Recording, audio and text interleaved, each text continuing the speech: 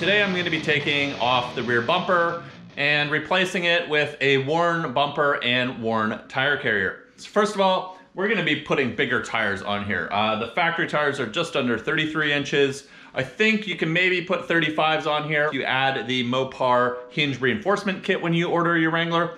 Um, but we're going bigger. We're gonna go with 37 inch tires and maybe down the road 40 inch tires. So I wanted something that is strong enough to support those and, and uh, carry the weight.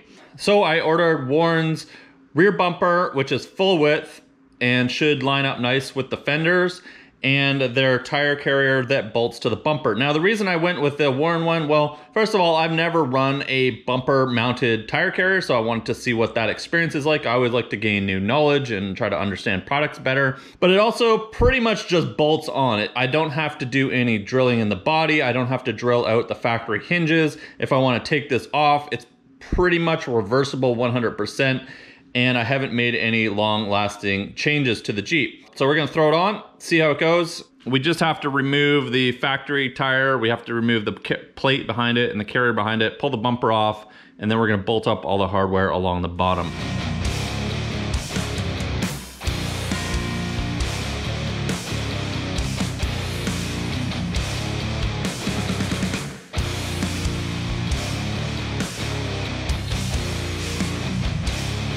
So getting the factory bumper off isn't too difficult. There's a pair of bolts right here.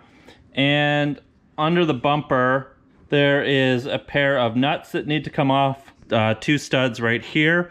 And then there is a pair of bolts underneath. And then obviously there'd be two more on the other side and two more of these on the other side. So you can get to these by removing, uh, there's three bolts that take off the plastic frame or mud guard or whatever you want to call it.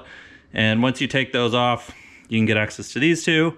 I think I have to take this bracket off, but there's no way I could get access to these huge bolts um, until I took the bumper off. All right, look at this cool plate that replaces the factory tire carrier. So we're gonna reuse the stock hardware and bolt this up to the tailgate.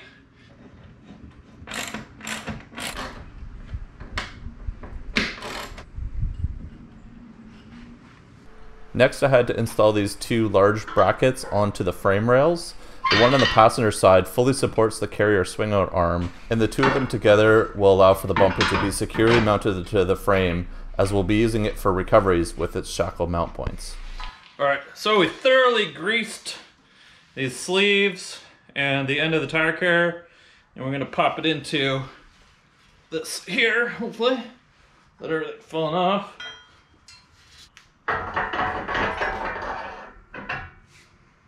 Like that.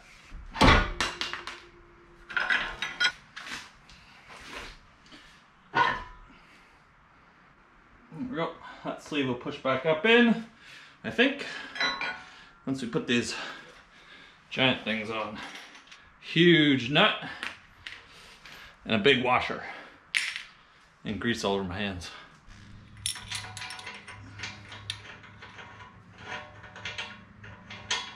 This just happens to be the same nut size as a uh, wheel hub nut on the front of the JKs, which I'm assuming is the same as the JLs. So I uh, was able to get this socket on, which helps immensely doing this up.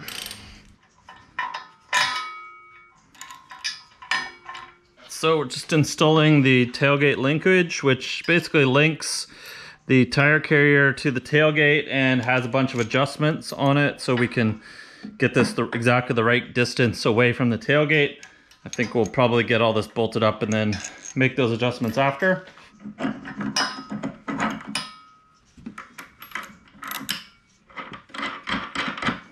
Just tighten that up and then we can adjust the distance using this here on the linkage to push this further or closer depending on what we need to adjust uh, once we get everything on and bolted up.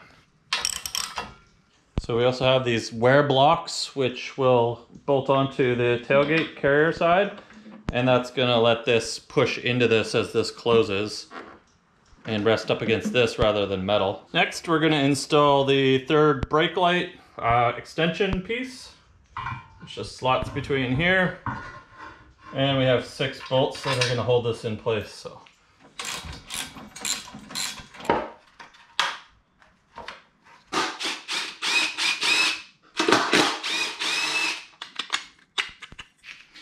So we do reuse the camera and brake light.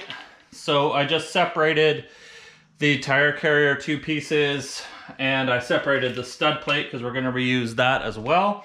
And I have the camera out and essentially that's gonna mount on, that's gonna mount on here like that. We have another plate that goes on the back and we're gonna reuse the factory stud plate uh, with the 5x5 bolt pattern. We're just gonna mount the factory brake light to the top of this bracket.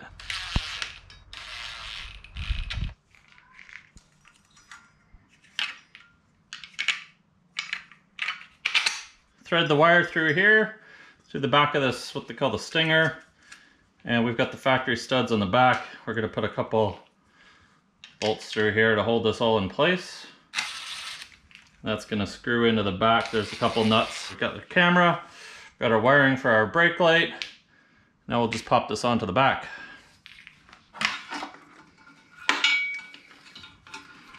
We're going to wire this top light back up through here for the brake light.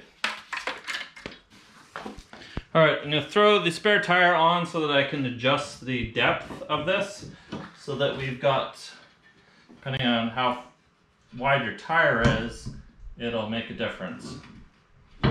So we want to adjust this and then lock it in place. Let's go and make a line on the back. Pull the spare off. Uh, now you can see where to put the bolts in the back to lock this in place.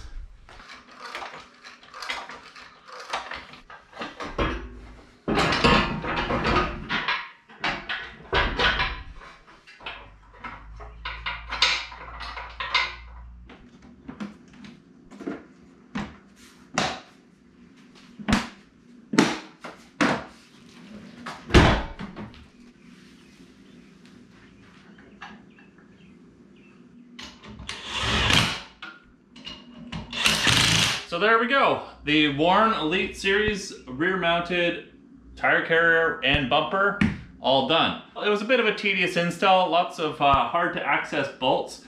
Um, definitely the bolts on the rear bumper were a little bit challenging to get through the brackets that you mount onto the frame rail, but uh, with a little time and patience, I was able to get them all connected.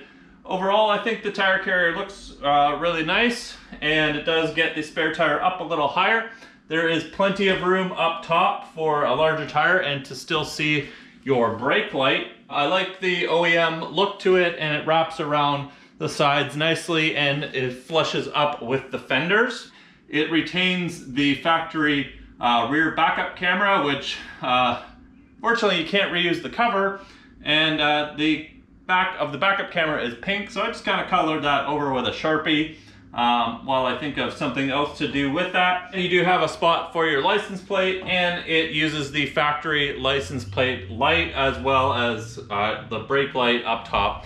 There's no wiring needed, everything just reroutes and clips back into the factory harnesses, which was nice. Just a couple things to note about the install. Make sure you get the carrier arm straight and where you want it before you bolt the bumper on because the little adjustment bolts that are right next to the arm of the carrier and the bumper are pretty much impossible to get to after you have the bumper on. The other thing is that with a factory wheel that doesn't have much backspacing, meaning the hub is not closer and the wheel is not further out, I have the carrier adjusted as far as it goes and the wire to the camera just barely reaches and actually the grommet that goes into the body won't quite go in all the way, but I think when I put my aftermarket wheels on with some more back spacing, the hub will get closer and I won't need to have the receiver part sticking out quite as much. This tire carrier is uh, rated up to a 40 inch tire, so there's plenty of space underneath here and I don't even have the brake light mounted to the highest location, so you could put a very large tire on the back here.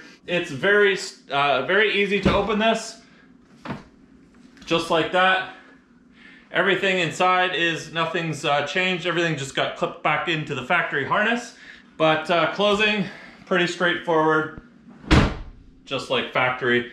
But uh, it's pretty stable once everything gets closed up. You notice a little bit of shake when it's open. Once it is closed all the way, if you have adjusted, there is pretty much no wobble and there you go. So this does clear with the factory hitch. It does clear with the factory wiring receptacle here and no issues with anything from the Eco Diesel. It's nice that it comes powder coated. Not having to drill or cut anything was nice for a change. Let me know now in the comments below what you think. And uh, that's pretty much it for this video, guys. If you enjoyed it, leave a like. Don't forget to subscribe. New videos every week. Lots of mods to come, and I'll see you guys soon in the next video.